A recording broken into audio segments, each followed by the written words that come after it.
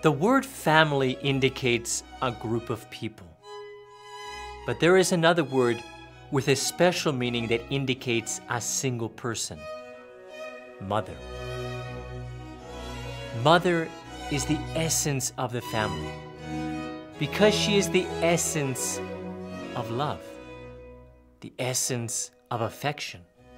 And under these conditions, the essence of kindness and mercy.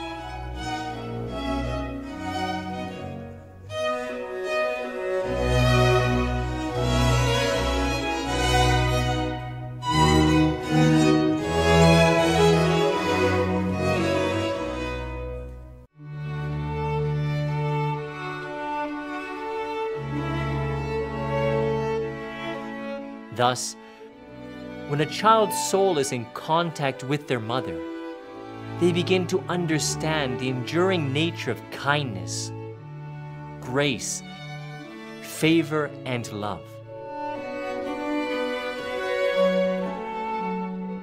They also learn about the depth of affection that leads a mother to never tire of being with her child.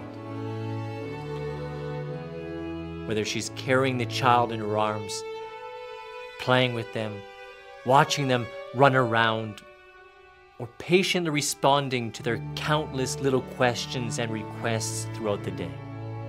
For a good mother, these moments are the true joys of life.